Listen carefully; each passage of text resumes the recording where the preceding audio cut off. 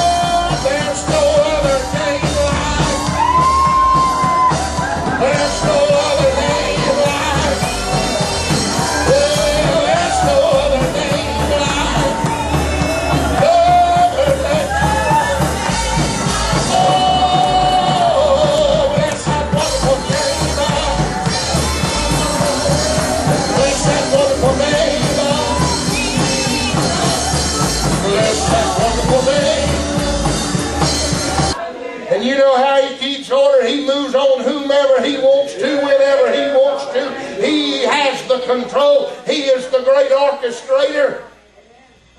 Hallelujah. They couldn't stand to minister by reason of the great cloud that had filled the place of Solomon's temple. And then we come to Jesus, who was the only man since Melchizedek to possess both anointings in the same tabernacle. Now let me tell you why that is. He is Melchizedek. Don't pull none of that stuff from me. I know Melchizedek wasn't just some old man. Come on. I don't know whether I can get to him or not. I'm still studying on him. I've been lost in him for a couple of days. Last night I bet I read over 30 pages of Oh, I got blessed. Amen. I don't know whether I can even hold out and give all that tonight because I got so much of this other to get through. But Jesus comes in and, of course, Caiaphas rips the seamless robe in half, which means he gave up the priesthood. Now you've got to understand something. First of all, no high priest ever sat down in the holy place. Never. They couldn't. The work was never done. There was always sin to atone for, and they never sat down. As a matter of fact, they had bells sewn in the hems of their robes, and they went in with a rope tied around their ankle. And if God received the atoning prayer, then they'd still hear the bells ringing as he walked around. But if they didn't hear no bells ringing, they pulled on that cord, they pulled a dead man out from that holy place. Huh? Why? Because he, the priest had to offer first for his what? For his own sins. And then for the sins of the people. Oh, I don't know about you, but I love you. But I sure don't need you repenting for me. I know what I know how bad I need forgiving, and I don't want nobody else repenting for me. I'll do my own repenting. I know how to get sincere with the Lord. Amen. I mean, I'll go off and pray with you, and you can be my prayer buddy, but I can tell you, if I really need to get a hold of God over something, I'm not hunting no prayer partner. I'm getting over there somewhere by myself. Oh, where nobody ain't going to see me lose control of what's going on, and I'm going to roll, and I'm going to holler, and I'm going to cry, and I'm going to fast, and I'm going to growl and groan and weep between the porch and the altar, and I lay hold of the Lord, folks. I'm telling you right now, we're every man is a priest over his own house now. You don't have to lay it on the order of another religious shoulder, but you have the authority as the priest in your own situation and in your own home to rise up and take the authority of the Holy Ghost and lay down the law of righteousness and declare that this is the way of the Lord. Hallelujah to God. Woo. So you must see that they never sat down. There was nothing to sit down over. There wasn't no rest. And in the time Jesus came into Jerusalem on the scene of time in an earthly ministry, Josephus tells us that the sacrifice was behind six months. Six months worth of sacrifice piled up. They were so behind and so backed up. Of course, David had restored and brought in the worship of, to Jerusalem, had established the law of God on the top of Zion. Solomon built the temple on the top of Zion, or Moriah, and there he established the order of worship, and David restored worship back to Jerusalem. So you're not talking about a little church meeting, camp meeting Sunday deal. You're talking about every man, I mean, from for hundreds of miles away, have come to Jerusalem because it's the week of Passover.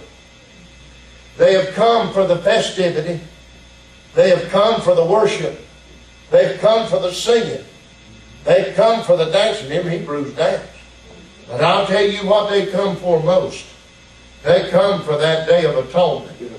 Oh, hallelujah. Whatever sin they have would be wiped away clean for another year. Somebody say praise the Lord. Hallelujah. I want to tell you something, beloved saints of God. When you come to Jesus, you didn't just come for the feel good of it. You didn't just come because you wanted to shake the preacher's hand. You didn't just come because somebody told you to. You didn't just come because the music was good. You didn't just come because the singing was good. You didn't even come to hear the preacher preach. You came that you may lay your sins huh, on the atonement altar and have God say to you, you're justified. You're forgiven. I've wiped it clean again. Oh, hallelujah. Even the old people that didn't know Jesus had enough sense to know that there was only one pardon for sin, and that was the blood of the Lamb. For when Moses went through that temple, he had blood in his hand, and he sprinkled blood on everything that was in that temple. He sprinkled the altar, he sprinkled the mercy seat, he sprinkled the lampstand. If you went in there, that gold furnishing uh, that would be beautiful and highly polished in most churches uh, was smeared all over with the blood of a spotless lamb and all things are purged by the blood, and without the shedding of blood, there is no remission for sin. Oh, there's power in the blood. When I see the blood, oh, the blood of Jesus, nothing